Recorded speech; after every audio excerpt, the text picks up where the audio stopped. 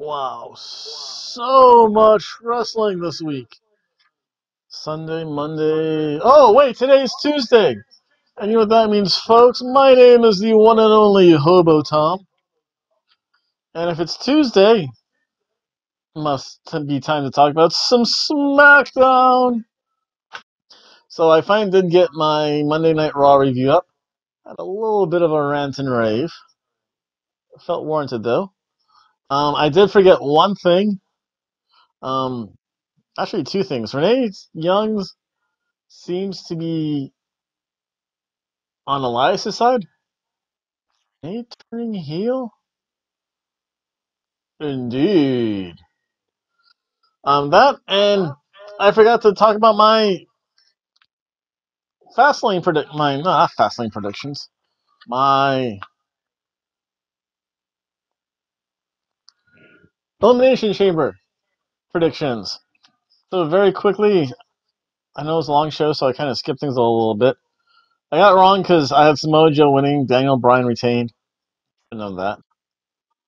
Um, I did choose Banks and Bailey to be the new women's tag team champion. I actually picked Finn Balor to win. That's impressive. Ruby Riott was my Stone Cold lock. She won.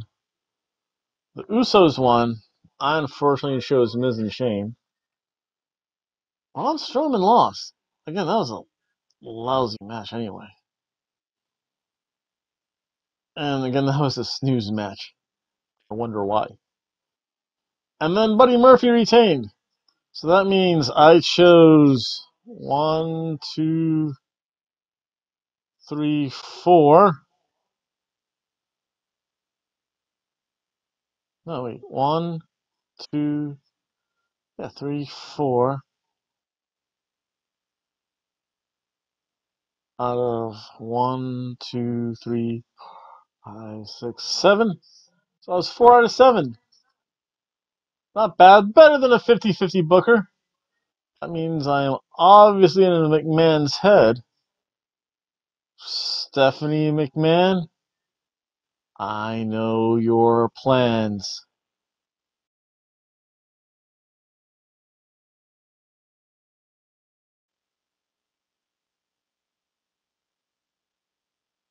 That's that.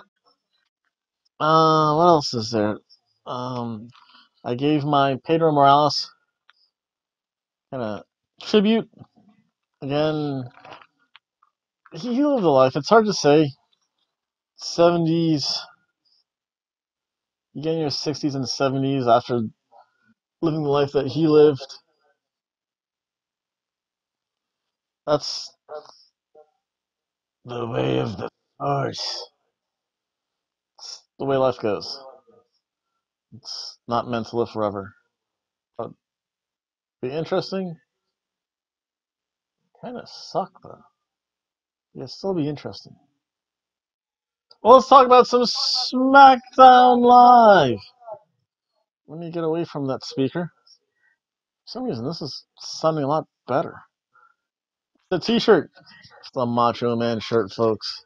One of my favorite shirts. I think this is my first wrestling shirt I ever got. I like it. So SmackDown starts off with Shane O'Mac kind of going through a couple things. It was kind of weird. Um, he talked about Kofi Kingston, gave Kofi Kingston big props for his showing at Elimination Chamber. Again, really the highlight. Um, then talks about the NXT call ups. Miz comes out, thanks Shane, apologizes, said, you know what? I'm the one that lost. Thank you so much. The Usos then come out. The Usos here called Miz an A-lister with C-list something. But the bigger thing to get out of this is that all four of them, Jimmy, Jay, Shane, and The Miz, they all play off each other. So it's very organic feeling. When they insult each other, it's almost good natured. And it makes it feel that much more organic. It makes it feel non scripted. That's a good thing. And then we got to our first match of the night. It was Black, Black versus Andrade. And they still should call him. Oh, that was this. Oh, my cat like jumped behind me. Um, they still should call him Andrade Cien Almas, or at least Andrade Al- Almas. Andrade Cien Almas. And it's kind of weird that Zelina Vega's ringside with Andrade when she's married to Aleister Black. Again, this match had amazing action. I was fully shocked. Especially the fact that I thought Aleister Black tweaked his knee the previous night. Maybe it's just one of those things. You kind of tweak something, rest it up, ice it up. Next day, you just have to stretch it out, and it's good to go. Happens to everyone. You're gonna go fishing one day, back hurts, stretch it out. Next day, it's fine. So again, that happens all the time to everyone. I'm, I'm sure he's a pro, and they probably have a multitude of medical staff, chiropractors, um, real massage therapists, not the New Orleans Bourbon Street kind, but real massage therapists. And I'm sure they can work wonders. I know when I played football and wrestle, I taped my knee up. I always felt better. It might also be in here too. Um, Andrade's, geez, he's a four-star match machine at least. Every match Andrade Cien Almas is in has really been amazing. Whether it's Rey Mysterio, don't I think I think he actually went against AJ Styles. That was a fun match. Um, him versus Rey Mysterio was awesome. It's amazing. They still have to get back to that. Even harkening back to his NXT days when he became much more serious with Zelina Vega. All of his matches, I mean, again, some of his matches are were up for match of the year in a variety of wrestling publications. I want to say it was Almas v Gargano was one consideration for match of the year. Almas versus Ciampa. Who dropped the belt? To? Oh, Aleister Black. Amazing. So, I mean, it's hard to say Almas is not a four-star match machine. You got a three-star match versus a broom, which is getting up there. That's starting to get into AJ Styles, AJ Styles, Kenny Omega, Kota Ibushi territory. That's some pretty elite company to be in, folks. Again, very fast pace. Um, it was it was a good pace. It wasn't fast. It was it slowed down when it had to be slow. It sped up when when again the match called for it. This is one of those matches where it seemed like almost a real fight. It was rough but smooth though. The action was pretty consistent, and it wasn't. It, it, the thing is, it wasn't botchy. It didn't have that botchy quality to it like like Ronda Rousey's match did. She she started up so high, but again, you can only, only come down, I guess. Um, it had that almost shoot fight feel to it, where the two people were really going at each other. But the action was smooth though. It was consistent. It was rough, but it flowed. It's it's really hard to describe. It's it's not botchy though. Um, again, amazing match. I mean, they all hit their big moves. Andrade on the outside of the ring. Ooh, Andrade has can do some nasty stuff out there.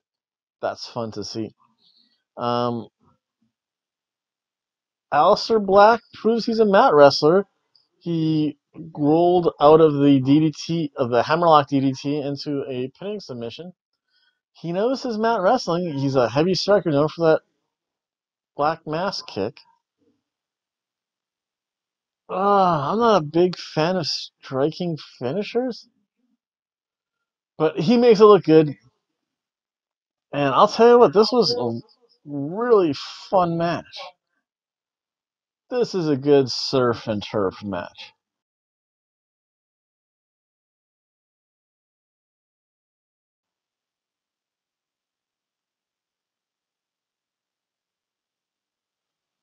Then we go on to the next match. Um, well, you have a backstage piece with Gargano and Ciampa. It's still kind of weird to see these two on the same page, but I guess they they're doing that mainly because of the halftime Heat show, and of course they're confronted by the bar, bar, bar, bar, bar, bar, and uh, past. Oh, I forget the. I forget the the interviewer's name, but is this your bringing NXT superstar to work today? Ciampa had a great line. We're not here to set the bar. We're here to break the bar. That was good. Them be fighting words. So it was a pretty good promo by both. Um, the match started off with uh, Tommaso Ciampa and Sheamus in the ring. Something teed off Tommaso Ciampa. I don't know if Sheamus was going a little stiff or, or shooting on him, but Sheamus did something Ciampa didn't like, and Ciampa let Sheamus know. Because he got him out of the he, he kicked him out of the ring, and he kept on rubbing his jaw. And there sometimes you, you do make contact, and sometimes you might even just bite your cheek. I know I've done that a couple times in wrestling matches. You get hit so hard, you get chomped on. Like, this wasn't supposed to happen. I don't think it was anything major. It's not like anything broken or, or anything. But it was one of those things where it was a little snug. Yeah. And he let Sheamus know about that. He's like, eh, eh, eh. Not happening.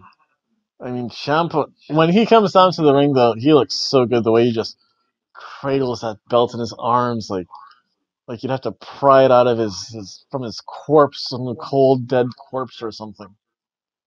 Looks good, and it's also unique too. Oh, that's a cool tag. I think Ch- I think Chispa's looking out for stray kitty cats. She chased one away last night. Lucky I found her. Um, Sheamus had that shock look, and he's like, I better let things cool off a little bit. I'm going to tag in Cesaro. Cesaro, and then, of course, Ciampa tagged in Johnny Gargano because Cesaro called for it. Cesaro is a darn good wrestler. He began the mock Johnny wrestling. Cesaro has that mat wrestling. He has that collegiate freestyle Greco-Roman skills. Yeah, very typical of Johnny wrestling. Did I plug this in? Yeah. Oh wow. It's weird. Maybe I have to change my volume. Feedback. Maybe. There we go. That sounds better. Oh yeah, that's a lot better. I think. I don't know if I do this too often, those weird, goofy things. Again, this is a hobo setup. But um, Cesaro's just so good. He's amazing. You can tell that even though the announcer said, oh, well, they don't have the experiences that the bar does, I'd like to say, eh, eh, my friend, as DIY, they do a lot of tag team work. They do a lot of tandem tag team work. They do good double teams. Again, they understand basic tag team wrestling. Again, back from when they were they were hashtag DIY. Now it's just dark hashtag DIY, which I which is what I like better. Um, again, they have the tag team work. It just felt like they were DIY again. I mean, and there was amazing tag team action by both teams, both the bar and DIY. Understand how to conduct a tag team match. Uh, ring isolation, double teams when called for. You distract the referee, the other guy gets his punches in. Um, the only thing, there was one botch. Ooh. And it was nasty and scary because Tommaso Ciampa was going to be hit with a white noise by Sheamus on top rope. He reversed that into like a Phoenix power bomb, which is when he does the sunset flip from the top rope and brings him down, except for his brace knee kind of buckled and got caught underneath Sheamus. And you can tell that hurt. Listen, that brace is metal. That brace is metal with a reason. And the knee is bone. bone on bone hurt. My knee and the if you're falling on my knee and your spine, you're gonna hurt. I'm gonna hurt. Hurt forever. Ooch. Ouchie. That just looks like it, and it, it could be a very simple thing. It could have been a very simple. Oops, I slipped. It was a slick spot. Happens all the time. It's that kind of one thing. This also, whenever Ciampa got involved with Sheamus, it felt like a shoot. And I'm like, oh wow, this is a fight feel. Again, minus that one move. When I say shoot, it, it wasn't botchy. It wasn't. It was. It was rough. The action was smooth. It wasn't botchy. But you're like, oh wow, that they had some good stuff going. Oh, and previously in the previous match, they had the Yay Boos going, which is always fun. Um, my question to you out there in YouTube world: I know Cesaro wrestled in the Indies for a long time. He wrestled in Pro Wrestling Guerrilla, Chikara. Oh, what's the other one? There's some other one. As like the rich millionaire guy. I forget, and I'll have to take a look if Cesaro ever faced the psycho killer Tommaso Ciampa in Pro Wrestling Guerrilla, Chikara.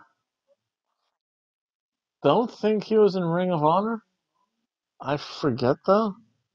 Maybe really early. I mean, Gargano is such a smooth wrestler. Um, again, they're so good. They, they do get the roll up, which leads me to believe that that that that that knee was unintentional. The knee to the back was unintentional, but just kind of a screwy thing. Overall, though, I can't complain because this is still a surf and turf match.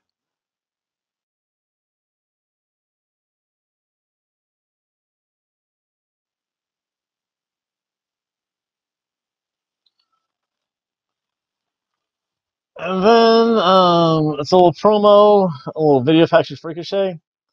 And then really like the low point of the night was Asuka versus Mandy Rose. Who's ready for for Asuka?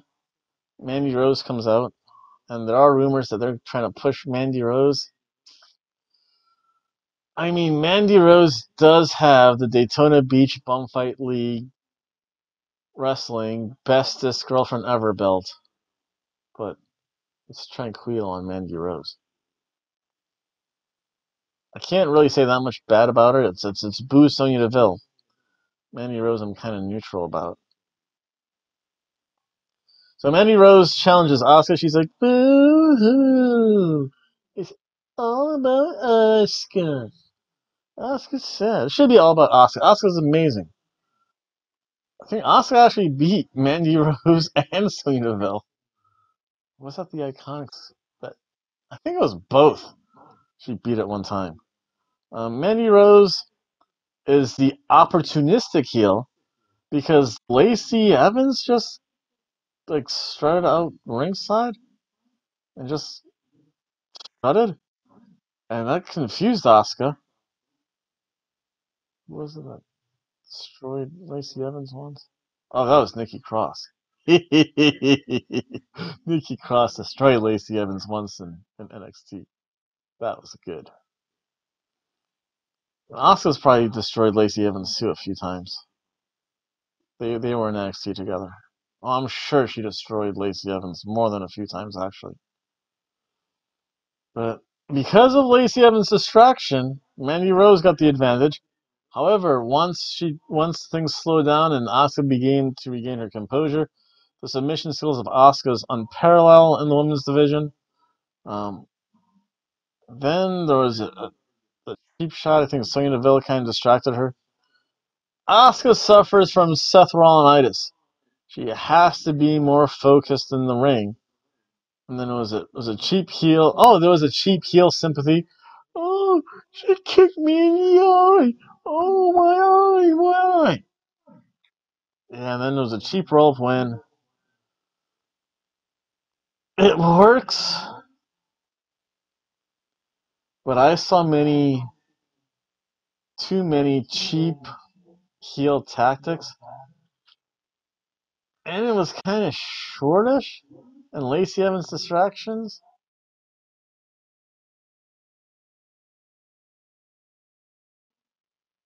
It's and with Ricochet, again, he's just amazing looking. I don't care what people say. He faces he faced Eric Young. Sanity's back.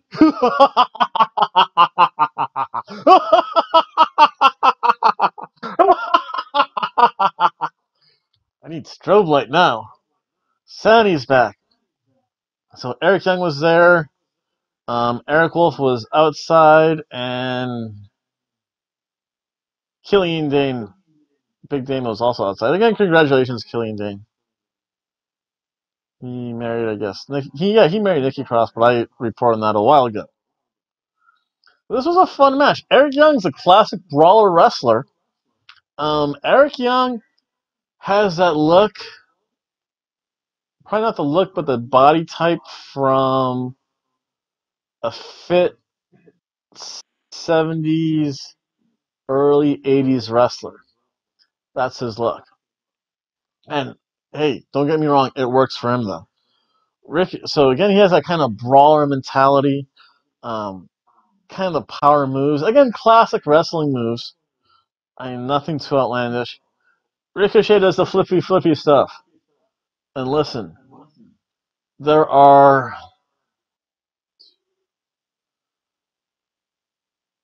three, five. Maybe there are five wrestlers that can match him in the flippy flippy ways. I mean, Will Ospreay, Phoenix, Lio Rush, Sammy Guevara, and the fifth one's eluding me. But I know they're from PWG. And I can see him doing flippy flippy stuff. I forget the name. So there's five people that can probably match Ricochet flippy flippy style. Eric Young is not one of them.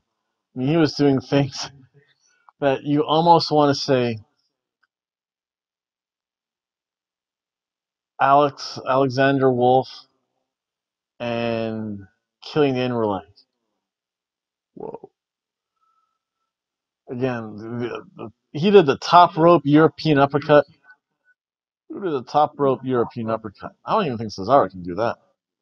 Um, he he he took all the distractions, focus, and did the flippy flippy stuff onto Alex Wolf and I just want to call him Big Damo, but uh, Killian Dain on the outside, jump right back in, do flippy flippy stuff with, with Eric Young. I mean, just Ricochet. We're not worthy. We're not worthy. So, with all that being said,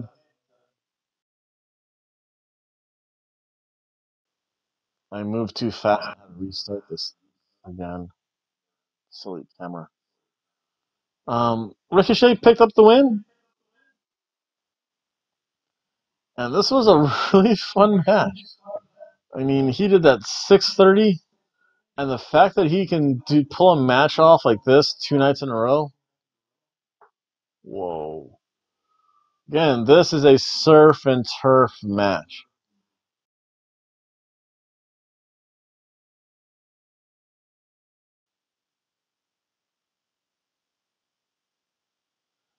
And then the final and the main event of the evening. Oh wait, before that, you thought had a Kevin Owens promo. Kevin Owens, you've lost some weight, my main man. Good for you. It's gonna be lunch soon. This face is gonna get a little thinner soon, a little thinner too. But you can tell because he looks thin in the face. He looks he looks fit. I know the WWE wrestlers. It's a it's a hard road lifestyle because you really don't have that many options for I guess healthy eating. Um, you can't eat Subway all the time, and cheeseburgers will just kill you. So will Jimmy John's. McDonald's combo.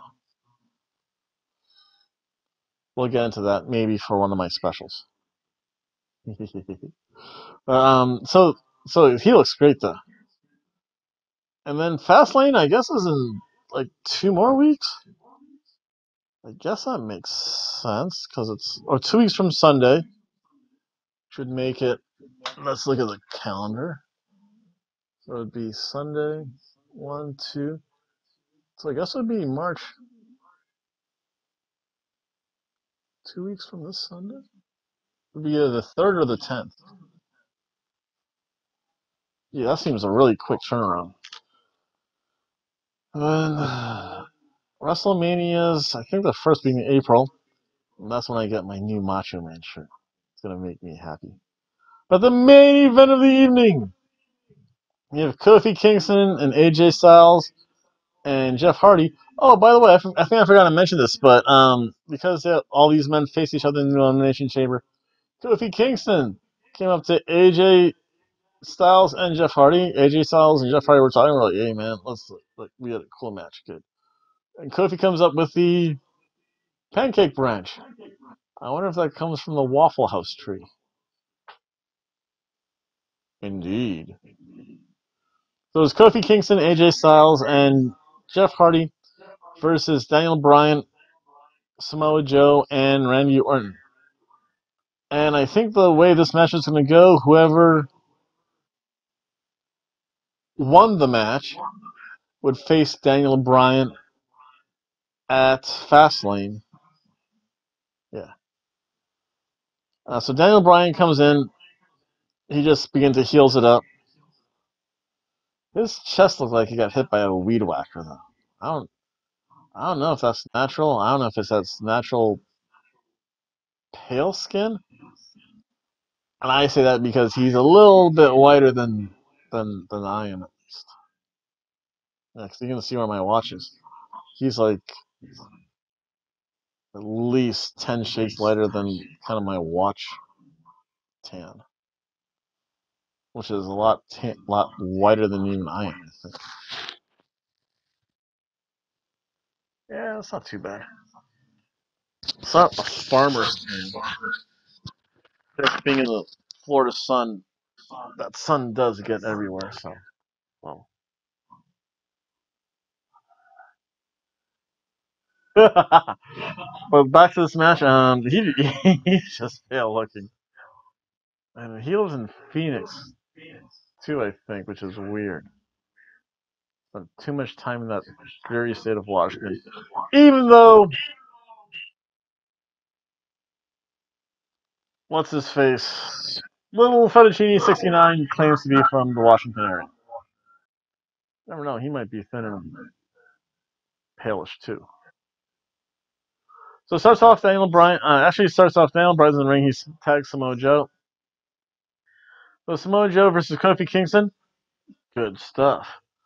Again, all the all the faces were working really well together.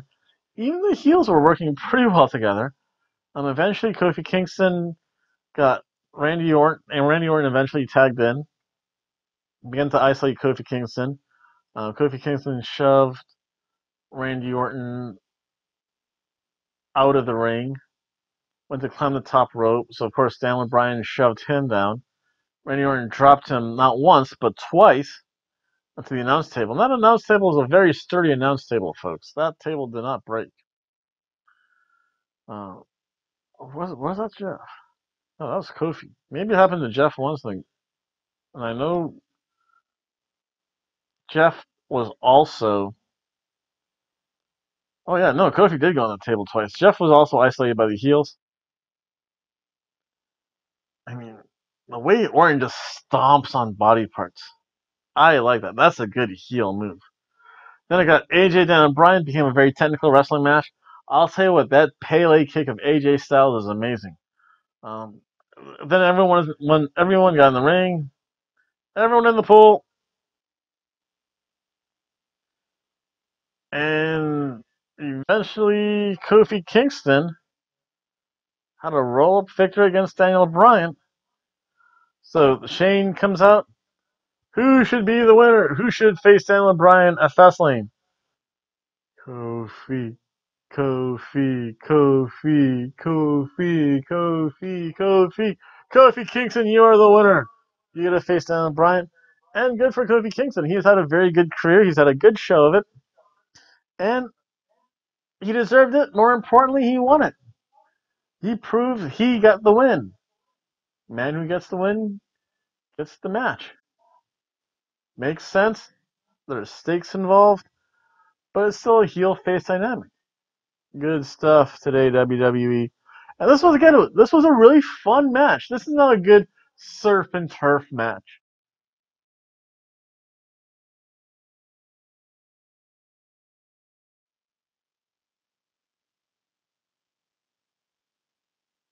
And that was SmackDown in a nutshell. It was really good. Um, did not carry the stank of Elimination Chamber. Again, the men's Elimination Chamber was fine. Um, Asuka wasn't there. Gee, that's right. There was no kind of stank of that horrible Elimination Chamber pay per view. A really good quality show. And that's it for SmackDown. Um, some programming notes. I will find out tomorrow if I get to go to NXT Daytona, which means there's going to be more live videos, and we'll see some new wrestlers. We might see some new wrestlers. I highly doubt that Ciampa is going to be there. I highly doubt Black, Aleister Black, Johnny Gargano, or Ricochet is going to fly or travel three days to come to Daytona Beach. Ain't happening, folks. So we might see some new talent get involved. And I will definitely show you their ring entrances, a little bit of their match, and give you my own commentary and my rating on how those matches go. And then I don't know what I'm going to do. I have a birthday coming up. I should ask. I should have a birthday special. Birthday of Hobo Tom. This is your career retrospective. Wow, that'd be neat. Just revisit all or redo all the all the great matches of Hobo Tom. Maybe. But we'll see. That's a I have to ponder I have to think about that. See if I know if I have enough space. Um also going to have a Mardi Gras special. Again, we go back to the Daytona Beach Bum Fight League Wrestling on March the 5th, which is Mardi Gras. Happy Fat Tuesday. So it's going to be a little bit of a party mood. And it's the last day I get to drink. 40 days sober with no meat. I go vegetarian for 40 days. Wow. That's always long. And then on probably not Wednesday because that's Ash Wednesday, but on Thursday it's going to be the one year celebration of this guy Hobo Tom being on YouTube. So I'm going to make a one year celebration video. I think you're going to hear me sing some songs, see some at least pictures, some stills maybe some videos and stuff of that nature to commemorate me being on YouTube for one whole year. I'm surprised I lasted that long. I think I have almost. I think this is also like my 200th video. Wow. I made 200 videos in 365 days. Impressive. Indeed. Oh, and then it's back to the normal schedule again, Monday I do try to do Raw unless it's it's a really weird, wonky work day. But I shall see everyone hopefully Saturday night